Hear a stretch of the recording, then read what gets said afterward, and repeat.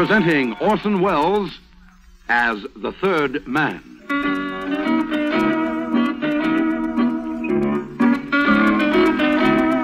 The lives of Harry Lime. The fabulous stories of the immortal character, originally created in the motion picture The Third Man, with zither music by Anton Karas.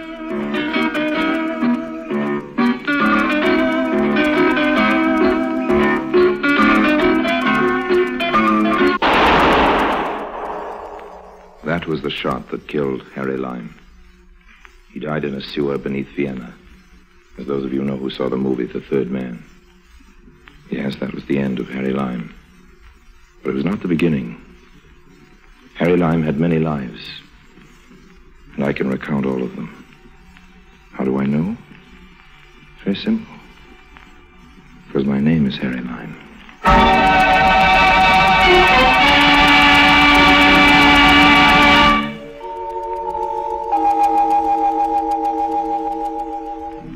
Don't get me wrong, I love Budapest. From Budapest come goulashes and shardashes. Shardashes being something you dance, and goulash being something you eat if you go for all that paprika. Me, I love it. So, when I got that telegram, I took the first train to Hungary. Maybe I'd better tell you about the telegram first. Dear Mr. Lime, it said, my bank is going to be robbed, and I need your help. It was signed Fekete, evidently a man's name, nobody I knew. I knew all about bank robberies, however, and I was dying to help. Besides, as I say, I love paprika. So I started packing right away.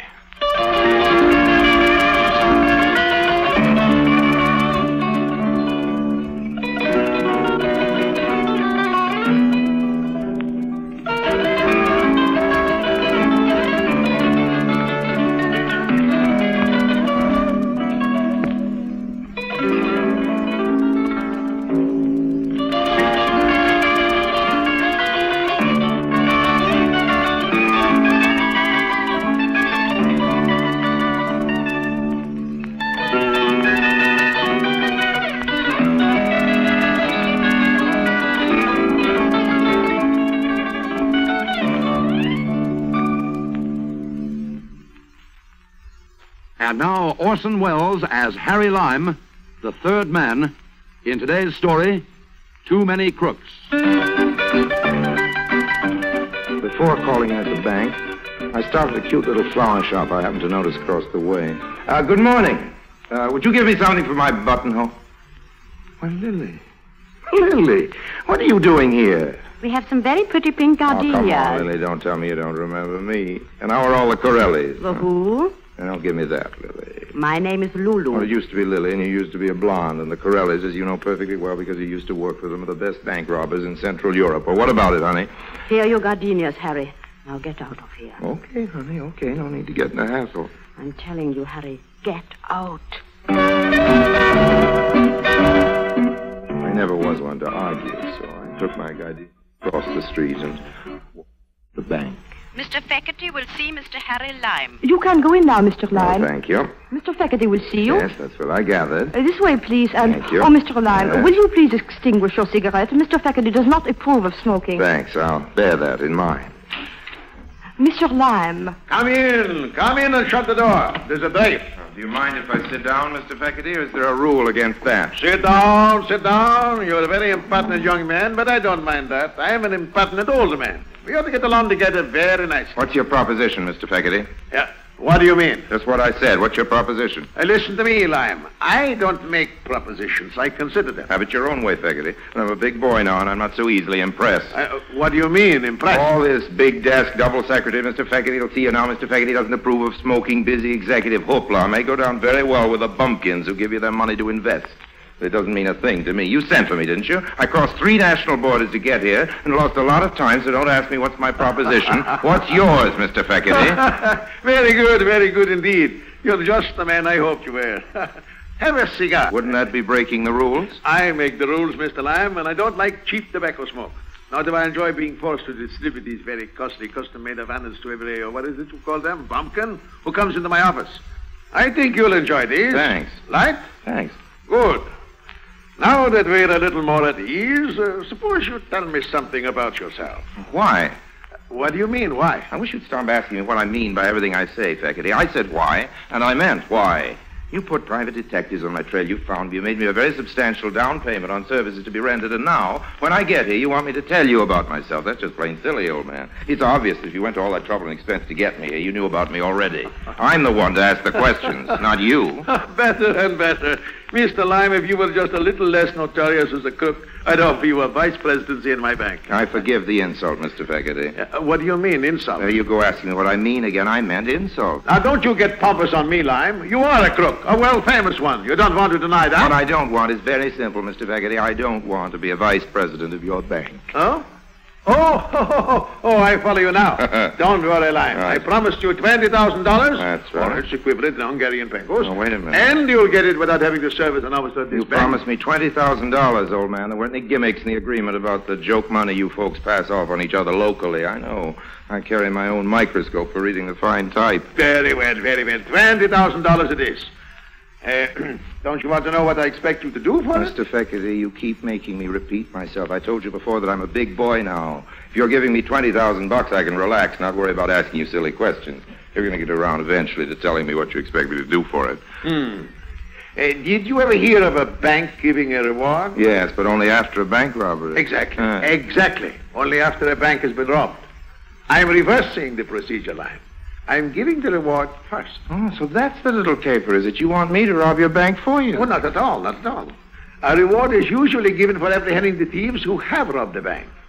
What I want you to do, Harry, uh, I may call you Harry? may I? Certainly, old man. Call me Harry if it gives you any fun. Well, Harry, what I want you to do is to apprehend the robbers before the robbery is committed. Very clever, don't you think so? Uh, have another cigar. In my business, I may get in the way of an awful lot of screwy deals, but I can tell you that never in a long career have I been offered in complete seriousness a loopier proposition than Mr. Fekete. It seems the key to the whole affair was Mr. Fekete's junior officer in the bank, a certain Mr. Fodor. Ladislaus Fodor is the full name, Harry. Hmm. He's one of our vice presidents. I see. I tell you this right now, the man is an unprincipled criminal. Oh? And come here, and I'll show him to you. Come this way. You can see him through the glass panel. Oh, yes. There he is. Oh, that one. Second desk to the right. Uh, with all those silly hairs pasted over his bald head. That's the man. He doesn't look very dangerous to me. Fodor? Dangerous? He is the brain of a backward bird and the charm of a worm. Now that I look back on it, I can't imagine how I ever persuaded myself to be jealous of him. Jealous? I don't follow you, old man. If I have a fault, Harry, it is this. I do tend to be jealous. Lulu often chides me about it, I have promised to curb the instinct, but there, it is a part of my. Lulu, you mean the girl in the flower shop across the way? That Lulu? She is the only Lulu I know, Mr. Lyon. How does it happen that you are acquainted with her? You see this carnation? I see it, yes. Lulu sold it to me, overcharged me scandalously, as a matter of fact. Poor Lulu is a working girl. She must live. How does it happen you know her? What makes you think I do? You know her name? Oh, one of the other customers called her that while I was still in the shop. As it happens, it was this little fellow you just pointed out to me over there, the vice president, uh, Fodor. Third vice President. I hate to keep harping on these commercial matters, Fekete, old man, but just how does my $20,000 reward come into the picture? Uh, let us retire to my inner office, Harry, and I will tell you. Okay, Come. old man. Sit down, please, Harry. Have another cigar. My pockets are bulging with cigars now, old man. Let's concentrate on the 20000 Certainly, certainly. Oh, Miss Carver, Miss Carver, Yes, Mr. Fekete? uh, no matter who calls, don't disturb me, not on any account. I'm having an important conference. Yes, Mr. Fekete. Oh, jealousy, Harry. Jealousy is a terrible Yes, thing. yes, yes, certainly is. Now, about this reward. Jealousy is the green-eyed monster who doth mock the meat it feeds on. That's how the poet Shakespeare Uh, expresses the it. poet Harry. Shakespeare said a mouthful, and now... But still, if it had uh, not been for jealousy, I would never have followed this Fodor into Lulu's shop. And if I hadn't done that, I would never have discovered the digging. Digging? What digging? What would you say, Harry, if I were to tell you that running under the street from Lulu's flower shop to this bank, there is a tunnel? A tunnel? What would you say if I told you that? Well, I'd say, well, well, well, what do you know? That's what I'd say. That's what I said when I found out about it. And that's why I say now that I mustn't ever forget to be grateful to jealousy, particularly since I've discovered that there's nothing between Lulu and Fodor. Or nothing serious. And uh, do you know what I'd say to that? No? A couple of rude words. Yeah, but why? Why? You find them scrabbling away together like a couple of chubby moles, digging away in the general direction of your bank vault, and you say there's nothing serious between them? There isn't, I'm sure of that. I have Lulu's word. And besides, what could she possibly see in a fat little nonentity like Fodor? No, the only one who thinks it's serious is Fodor. And that's the whole point. Fodor is a dupe, a mere cat's paw in the conspiracy. Oh, yes? And who's the mastermind? I am. Uh-huh. And what does Fodor think about that? He languishes in ignorance. He knows nothing. And to think that he aspires, he dares to aspire to my position in the bank. And how does Lulu fit in? I must tell you that Lulu has given me some reason to hope that she will someday make me the happiest man in the world. And how would she do that? By giving up Fodor or sending you a big bouquet of roses? Let's get down to cases, old man. Wedding bells can ring out from Buda to Pest and back again, but I won't be there to throw any rice unless I get paid. What is it exactly you want from me? Lessons on how to help Fodor and Lulu rob your bank? Fodor's going to do the robbing, and besides, it isn't my bank. I'm only a salary And then. Fodor gives you the money to give to Lulu. Is that Certainly it? not, certainly not. That would be Uh, silly. that's just what I was thinking. no. no. Every day, Fodor is supposed to take the paper money from the various cages and place it in the vault. Yeah? This is his responsibility. Yeah. Tonight, however, he will not do this. He will leave the money outside the vault, hidden in a large filing cabinet. Oh, yeah. Oh, the entire plan has been carefully worked out, I can assure you. All I can say is this folder of yours is a very cooperative type of cat's paw. Don't call him this folder of yours. He isn't. He's no folder of mine. Have it your own way, old man. What comes next? You, I suppose. Huh? You come a half hour later with a dark lantern and a gunny sack. You wrap up the money, join Lulu, who's been waiting for you across the street in the flower shop, and the two of you, hand in hand, move off down the road into the sunrise and also into the very choicest Hungarian hoosegow. Hmm? What is a hoosegow? A jail or prison, a place of forcible incarceration, a lockup for bad little bank robbers. Not at all, not at all. It is Fodor who goes to prison. Oh, yes? And how do you work that? That is one of the things I want you to arrange. Oh, I see. I'm going to have to earn that 20000 I think we'll start by having it deposited in my name and in somebody else's bank, old man. Why now? And why another bank? Well, every bank in Budapest isn't going to be robbed tonight, so I think I'd prefer one of the others. And I'll take it now because I know you wouldn't want me to go to the police with what is, after all, a fairly sordid little Go to story. the police, but that's Oh, blackmail. watch your language, old man. Blackmail's a nasty word. You know, all I want is protection for my poor little 20000 I'll give you service for it, too, but I want to be absolutely positive that you're ready to meet your payroll. Very well. You'll have your money, but you will help me. I'm going to need a few more solid facts, old man. Well, it all began with this insane jealousy of mine for Fodor. Oh, yeah? I took to following him. He used to go into Lulu's flower shop at night long after it was closed. And one time he left the shutter unfastened and I went in. There were no lights in the shop itself, but I could hear voices from the basement below. I opened the trap door very carefully so as not to be heard. And what do you think I saw? You saw Lulu, Fodor, and three men all hard at work digging a tunnel. Hmm. Yeah. How did you know? I didn't, I guess. After all, you told me there was a tunnel. Uh, but the three men, how did you know about them? Uh, still guessing. It's pretty obvious that Mr. Fodor and Lulu couldn't dig much of a hole without getting some help. Tell me this. It was Lulu who persuaded you to call me in on this deal, wasn't it? How did you know that? Still just guessing, old man, just guessing. Now, let me guess on for a minute and stop me when I'm wrong. When you saw what Lulu and Fodor were doing, you went home and brooded for a while, and then a few days afterwards, you confronted her. It was the next day. Oh, okay, it was the next day. And Lulu admitted she was planning to rob the bank, but said she was just using Fodor, and you were the only one she really cared about. And if you joined the party, it's you she'd run off with, leaving Mr. Fodor holding the bag. Uh, an empty bag. How am I doing? Oh, you're a clever man. Sure I am. That's why Lulu had you send for me. You see, the idea is that Fodor will hide the money outside the vault and leave. Then, according to the arrangement as he understands it, Lulu will come through the tunnel at night with her helpers and take the money back under the street through the tunnel. Uh, who did she tell Fodor these helpers were? She said one of them is her brother and the other two are cousins. And what did she tell you? That's what she told me. Uh, why?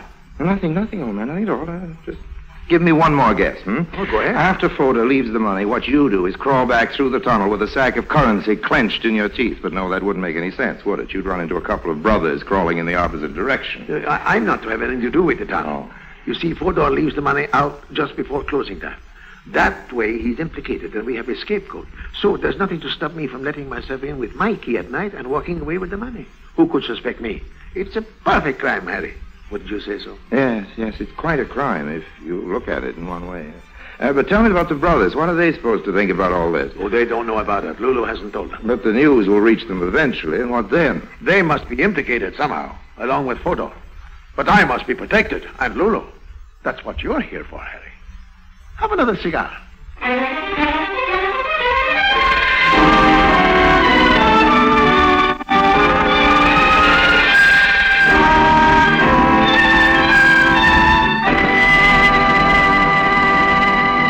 Orson Welles returns in just a moment as the third man.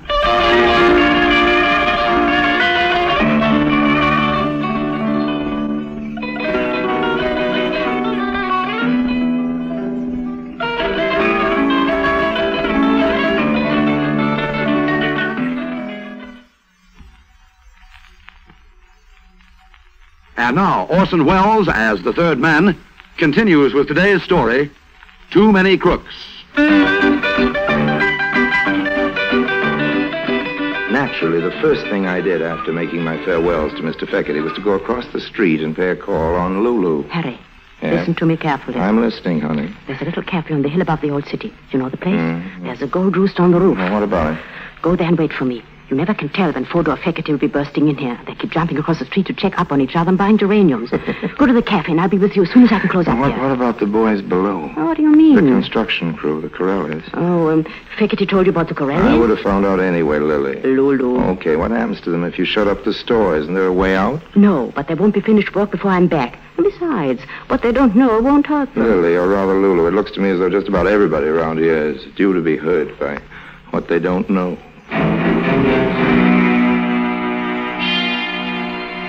I found the Gold Rooster and sat down on the terrace of the restaurant to wait for Mr. Fekete's fiancée.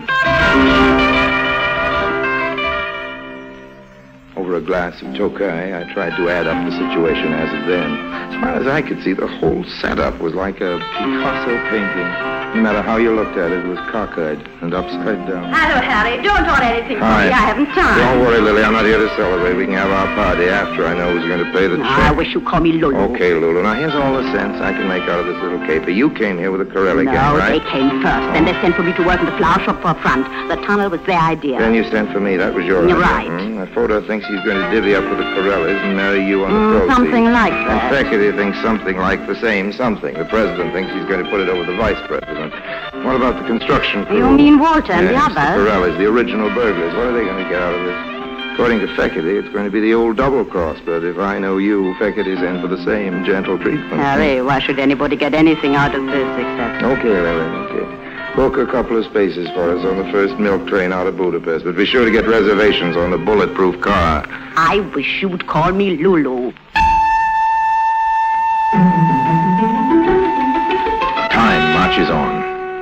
Lot of trusting Hungarian depositors line up at the bank, leave their hard-earned pengos at the impressive-looking gilt cages for what they fondly believe is safekeeping, and hurry home to have their evening plate of goulash. Closing time comes and goes. Fekete doesn't leave. He just pretends to, and stays skulking in his office. Meanwhile, Fodor takes the big packages of pengos, which, as you know, is Hungarian for money, dutifully to the door of the vault. He slams the vault loudly, this being for the benefit of the janitor, who is deaf anyway and doesn't hear, and quickly stows the loot in the empty filing cabinet which he has thoughtfully left nearby for just this purpose. He then goes home and passes a very restless night.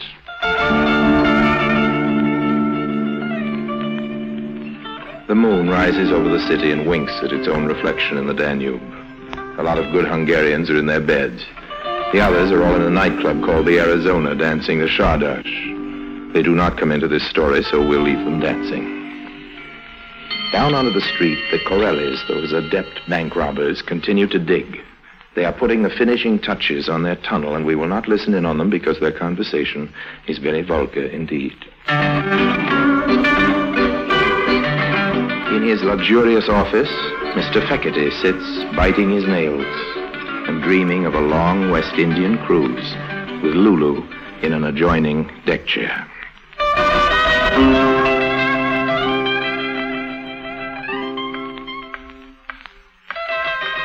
As the gang in the tunnel understand it, when the clock strikes 12, they are to open the secret trap door which they have previously prepared inside the bank, a section of tiling near the vault, go to the filing cabinet and take out the money which Fodor has left there, thus eliminating the noise and inconvenience of breaking into the vault, and, first closing the loose tile after themselves, scuttle back with the loot under the street into the flower shop, out into the night, and as far away from Hungary as possible. As I say, that's the way the gang in the tunnel understand it. This is also the arrangement as Mr. Fodor understands it, with a trifling difference that he expects Lulu to stop by for him with his share of the profits. Like Mr. Fekete, he is biting his nails and dreaming of tropical cruises. And what of Lulu? Uh-huh, what of Lulu indeed? It is Lulu's little plan to foozle everybody, Corelli, Fodor, and Feckerty. She's led them all on to just this point. It is the point of departure. Lulu's departure. Lulu and all those neatly wrapped packages of pengos. The trouble is, it's all just a little bit too much for one little girl to handle alone, so Harry Lime's been sent for. Harry is supposed to assist at the general foozling of one and all, and then, in due time, of course, he's to be foozled as well. Lulu will send Harry off to mail a postcard, and when he gets back, Lulu will have continued her travels alone, with nothing to keep her company but the loot. That, as I say, is the way Lulu understands it. The clock, high in the steeple of San Stefano, strikes twelve. This is the signal. Mr. Corelli, that celebrated expert, with his two able assistants, starts toward the bank. The tunnel was not built for comfort, and the going on hands and feet is a trifle rough. There's a bit of genteel cursing, but hearts are high. At the sound of the clock, Mr. Fekete removes the bound bundles of money from their place of safety and checks once again the bolts and fastenings which keep the loose tile in its place. In the darkness, Mr. Fekete smiles. He is satisfied that, contrary to the Corelli's expectations, the bank end of the tunnel is firmly and irrevocably closed. Still smiling, he starts toting the money toward the side door for which he, Mr. Fekete, is the perfectly legal possessor of a key. On the outside, Lulu, with a high-speed car, is supposed to be waiting for him.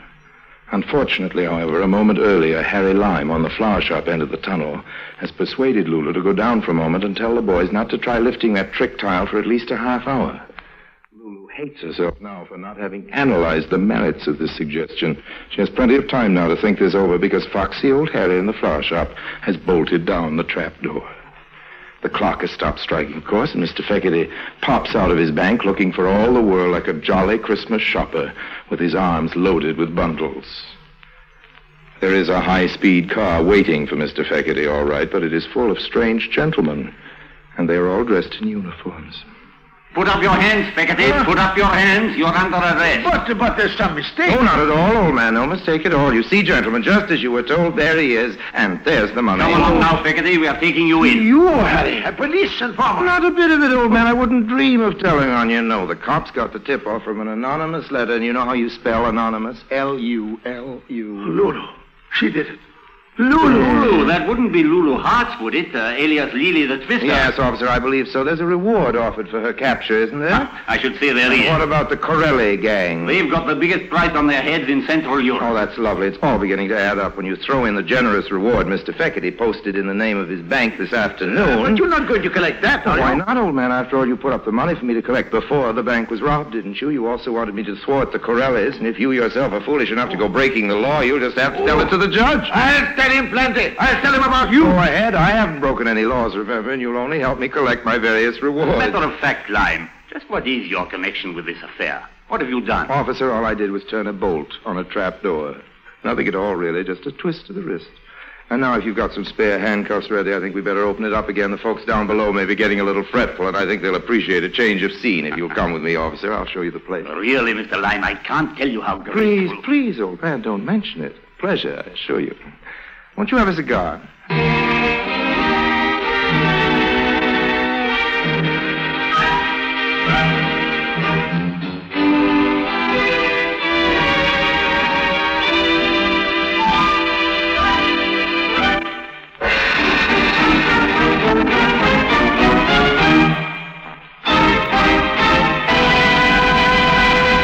Harry Lime returns in just a moment.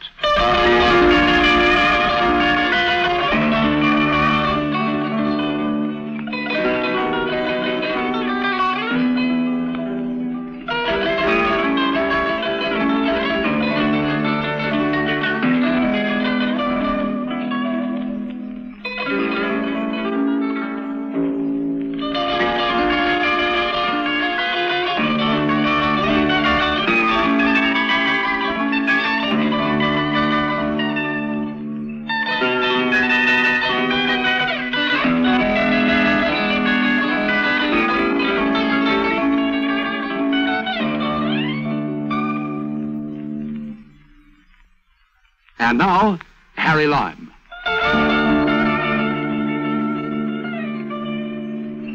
You know, friends, I had thought of substituting those fat packages of pengos for the same weight of old newspapers. But the rate of exchange wasn't so good on the pengo just then, so I resisted the temptation. After all, as Mother always said, Too many crooks spoil the goulash.